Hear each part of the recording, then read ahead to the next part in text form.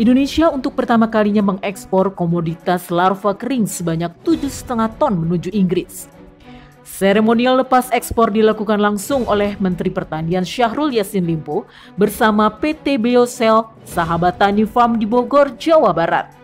Komoditas larva kering jenis Black Soldier Farm ini merupakan produk inovasi pertanian turunan dari bungkil kelapa sawit.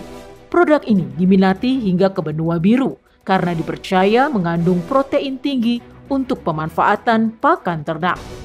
Sementara bagi Syahrul Yassin Limpo, ekspor ini diharapkan dapat berdampak pada peningkatan produk domestik bruto Indonesia serta kesejahteraan rakyat. Saya kira larva ini adalah bagian-bagian yang membuktikan bahwa di negara lain belum tentu punya milik seperti ini. Kita memilikinya. Komoditi pertanian, komoditi pasti yang bisa menjamin rakyat bisa baik Pak Wakil Wali Kota. Oke, kita akan melakukan ekspor ke Inggris itu kurang lebih tiga kontainer, masih ada lagi barang di situ dengan kurang lebih nilai 1,2 m.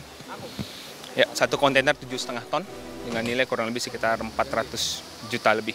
Seperti Bapak-Bapak tahu, kita besarkan dari bungkil sawit bersih dan bisa dilacak seperti yang negara-negara lain mau.